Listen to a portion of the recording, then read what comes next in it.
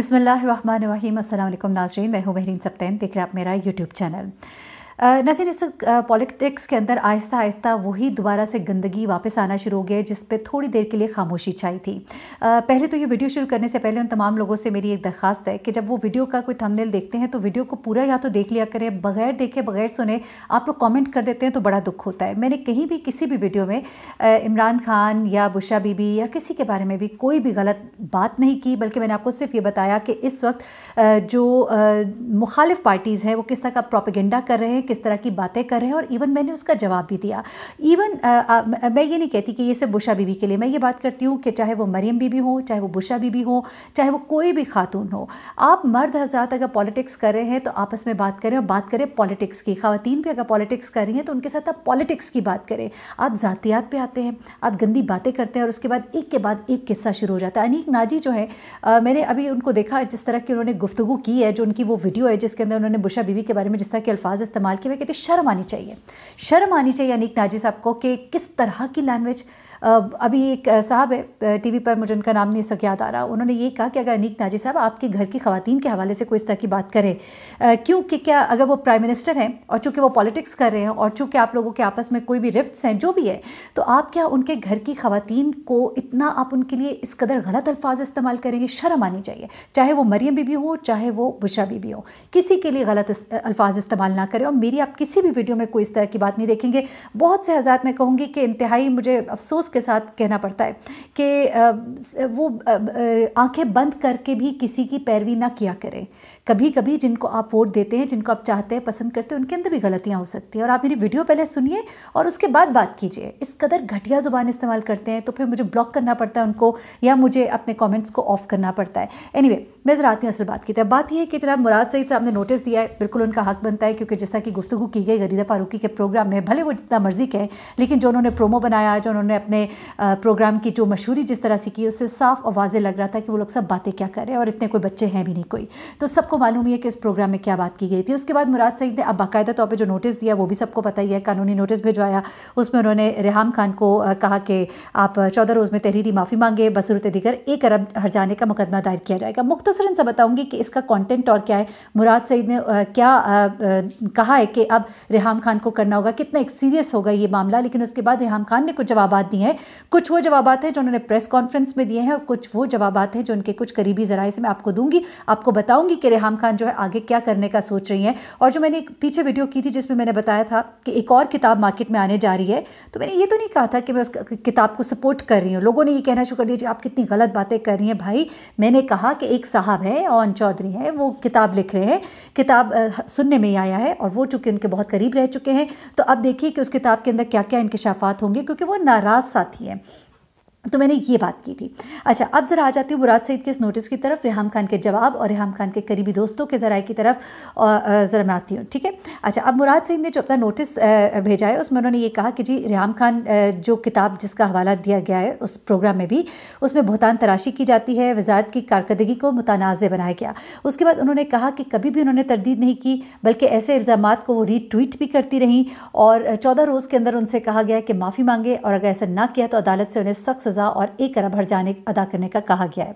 अच्छा उसके बाद मुराद सईद साहब ने वो फिर थोड़ा सा उसको एलेबरेट किया कि किस तरह से मुख्त प्रोग्राम्स में बैठ कर किस तरह से उनकी कामयाबियों को मुतनाज़ बनाया जाता है, कि आपकी तहरीर का हवाला देकर भुगतान, तराशी और गलीज प्रोपेगेंडा किया जाता है।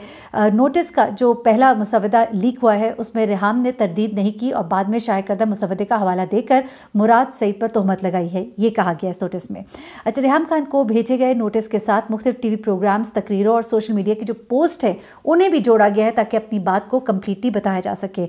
और वजाहत मांगी गई है क्योंकि इन तमाम भुगतानों में उनकी लिखी गई तहरीर का हवाला दिया जाता है, यानी जो भी शख्स बैठ कर मुराद सईद के बारे में या इमरान खान के बारे में जो भी बात करता है तो उसमें वो बार बार रेहाम खान की उस किताब का ज़िक्र करता है, उसका हवाला देता है। तो ये एक नोटिस है, जो एक जामे नोटिस है, उन्होंने बना के ये भेजा है और हर जाने के दावे के साथ।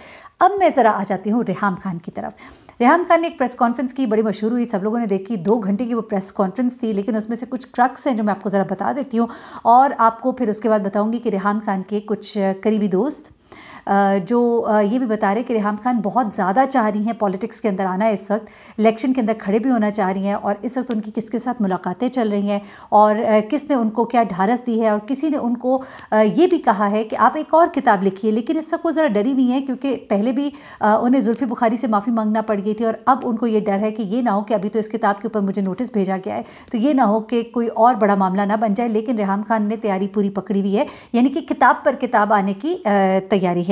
अच्छा अब इसमें रिहान खान ने जो बातें की है, मैं थोड़ी सी आपको ज़रा बता देती हूँ। उन्होंने बेसिकली बातें की क्या है। उन्हें कहा कि जी, मुझे कहा गया कि सियासत कर रही हूँ तो मैं तो बनी गाला में भी कबाब बना रही थी, उस वक्त भी बाहर नहीं निकली थी। सबसे पहले तो मैं वोट डालने में ही इतनी कन्फ्यूज़ हूँ। सियासी जमात कौन सी ज्वाइन की जाए, मुझे पार्टी में कोई फ़र्क नज़र नहीं आ रहा। लेकिन आपको ये बताऊँ कि इतलात ऐसी भी है कि रेहाम खान और मरीम नवाज़ की कुछ मुलाकातें और उन मुलाकातों के अंदर बहुत सी बातें तय हुई हैं और उन्हें कहा गया है कि वो बहुत ज़्यादा अपने उस कॉन्टेंट को और ज़्यादा सर्कुलेट करे, उसको, उसके बारे में बात करें।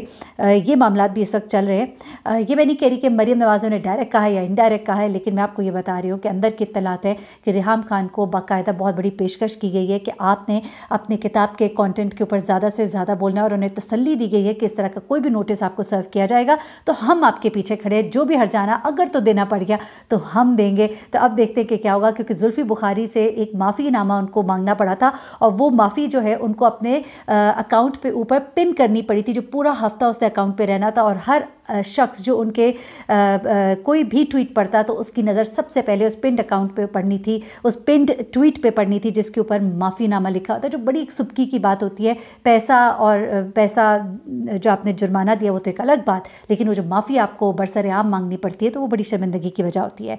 अच्छा अब रेहान खान ने इमरान खान के ख़िलाफ़ बहुत से बातें की हैं मतलब उनके हवाले से बहुत सी बातें की अब वो क्या कह रही हैं? वो कह रही हैं कि मुराद सईद के बारे में जब पूछा गया कि भाई वो आपको नोटिस भेजने जा रहे हैं तो उन्होंने कहा कि अगर वो जा रहे हैं, मेरे खिलाफ हतक के इज़्ज़त का दावा करने तो इससे तो किताब को मेरी और पब्लिसिटी मिलेगी। ठीक है जी? फिर वो ये कहती हैं कि मुझे कहा गया सियासत के बारे में तो मैं तो जब निकाला में कबाब बना रही थी, उस वक्त भी मैं बाहर नहीं निकली थी। फिर उन्होंने कहा कि सियासी जमात कौन सी ज्वाइन की जाए, मुझे पार्टीज़ में कोई फ़र्क नज़र नहीं आता, क्योंकि जो राइट की जमात है, वो ज़्यादा सेकुलर दिखाई दे रही है, जो सेकुलर जमात है, वो इतनी सेकुलर नहीं है। नज़रियात का फुकदान पहले भी था और अब तो बहुत ही मुश्किल हो गया है, इसलिए। जनाब, फिर वो कहती है कि जहाँ से बेहतर ऑफ़र आएगी, आप मुझे उस सियासी जमात में देखेंगे। यानी कि तैयारियाँ पूरी हैं और आपको याद ही होगा कि इमरान खान की पॉलिटिक्स के अंदर ये जो हमें इतलात मिली थी, इतना ज़्यादा इन्होंने इंटरफेयर करना शुरू कर दिया था कि इनको साइड पर करना मुश्किल था। तो हमेशा से ख्वाहिश जो है वो अंदर मौजूद थी। अच्छा वो कहती ऑफ़र कल भी आ सकते हैं और दस साल भी लग सकते हैं, लेकिन हमें ये मालूम है कि ऑफ़र उनको आ चुकी है, क्योंकि मैंने आपको बताया कि एक खुफिया मुलाकात उनकी मरियम बीबी के साथ हो चुकी है और वो बड़ी लंबी मुलाकात है। अच्छा वो कहती है कि अलहमदिल्ला मेरी किताब का हर सफ़ाई पढ़ने से ताल्लुक़ रखता है। मेरा ये ख्याल था कि मेरी वफ़ात के बाद, शायद बीस साल बाद, लोगों को लगे कि इसे पढ़ना चाहिए। मैं सिर्फ़ चीता चीता पॉइंट्स आपको बता रही हूँ। अच्छा वो कहती हैं कि चार साल तक मेरी किताब को दबा कर रखा गया। आज खुद ही उसकी तशहर कर रहे ऐसा कभी भी नहीं था। जबकि इनकी किताब जो मार्केट में आई थी तो बड़ी ज़ोरदार तशहर हुई थी उस वक्त। लोगों ने बड़ी बड़ी वीडियोज़ बनाई थी। मिलियंस में व्यूज़ आए थे उस वक्त। अच्छा फिर वो कहती हैं कि मुझसे पूछा जा रहा है कि दूसरी किताब कब लिखेंगी? पहले आप पहली किताब तो पढ़ लें। लेकिन मैं आपको बताऊँ कि दूसरी किताब की तैयारियाँ जारी हैं और वो पूरी कोशिश है कि इलेक्शन से पहले पहले वो किताब भी रिलीज़ की जाए ताकि इलेक्शन से पहले जो है वो जितना कुछ इमरान खान साहब के बारे में कह सकते हैं तो वो कहा, कह दिया जाए। अच्छा उन्होंने कहा कि मैंने अपनी ज़िंदगी की कहानी अपनी ज़ुबानी सुनाना चाही थी। मेरी नीयत यही थी कि जो हादसा मेरे साथ पेश आया, वो किसी और के साथ पेश ना आए। फिर वो कहती है मैंने पहले किसी की पपेट, ना, मैं पहले किसी की पपेट थी, ना आज किसी की पपेट हूँ, जो मेरे साथ हुआ। बहुत से लोगों के साथ होता। मैं बहुत सारी खवतिन की आवाज़ बनी। मेरी वजह से लोगों को हिम्मत मिली। अब और बहुत से लोग भी किताबें लिखने की बात कर रहे हैं। क्या पहले कभी ऐसा मुमकिन था? आ, ऐसी किताब तो वाकई पहले किसी ने नहीं पढ़ी थी पाकिस्तान में। एनीवे anyway, कहती है पीडीएम इलेक्शन को नहीं मान रही। अगर मैं उनकी जगह होती तो फिर पार्लियामेंट में बिल्कुल ना बैठती। अब अगर पार्लियामेंट में बैठ गए तो वहाँ बैठ कर इशूज़ उठाने चाहिए। ठीक है आप लॉन्ग मार्च करें लेकिन अदम अतमाद का वोट बिल्कुल पार्लिमानी नॉर्म्स के मुताबिक है। इसको परसू करना चाहिए। चलिए ये बातें अब छोड़ते आगे चलते हैं। अच्छा अब उनसे पूछा गया कि क्या आपकी खातून अव्वल बुशा बीवी से कोई मुलाकात हुई? तो उन्होंने कहा नहीं।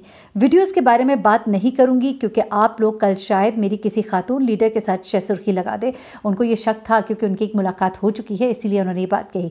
अच्छा फिर वो कहती है, अलबत्त, ब्लैकबेरी है मेरे पास, नहीं है, लेकिन वो बड़ी महफूज जगह है, महफूज हाथों में है।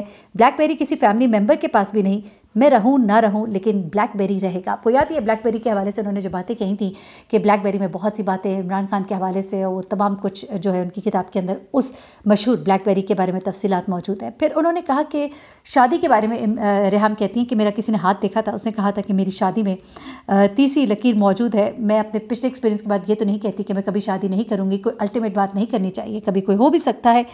फिर वो कहती है कि पाकिस्तान रहने आई हूँ अपोजिशन से ज़्यादा गिरे हैं, मुल्क में कुर्सी का खेल खेला जा रहा है, इससे कोई दिलचस्पी नहीं। चले फाइनली आप पाकिस्तान तो आई वजी अजम हाउस एक बंदे का नाम नहीं वजी अजम हाउस को अपोजिशन मुसलाफाज के साथ पाकिस्तान के लिए काम करना चाहिए। अच्छा ये सारी बातें उन्होंने की चली ये तो मैं मतलब ऐसी बातें हैं जिनको अभी मैं रिपीट नहीं करना चाहती, लेकिन अब मैं आपको ज़रा जाते जाते आखिर में ज़रा काम की खबर देती चलूँ।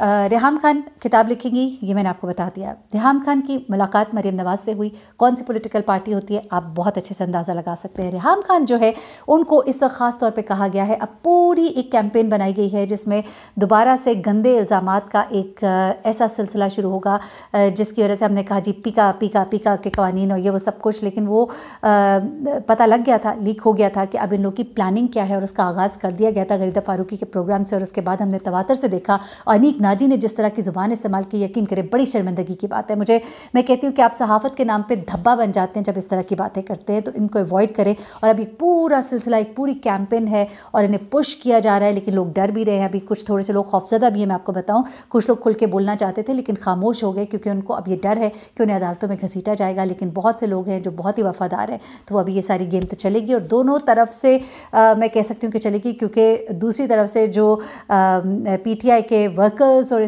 हैं उनको मैंने देखा है कि जिस वक्त वो बोलने पर आते हैं और जिस वक्त किसी की माजरत के साथ जब उन्होंने करनी होती है ठीक ठाक तो वो बहुत ही ज़बरदस्त किस्म की करते हैं। और ये मैं अपने अकाउंट पे देख चुकी हूँ जबकि मैंने ऐसा कुछ भी नहीं कहा सिर्फ़ टाइटल पढ़ के उन्होंने खुद से अखज़ कर लिया और शुरू हो जाते हैं तो पहले वीडियो को देख लिया करें मेरी आपसे दरखास्त है। मुझे महरीन सप्ताह इनको इजाज़त दीजिएगा। अपनी दुआ में मुझे भी याद रखिएगा, अपना बहुत ख्याल रखिएगा। अल्लाह हाफ़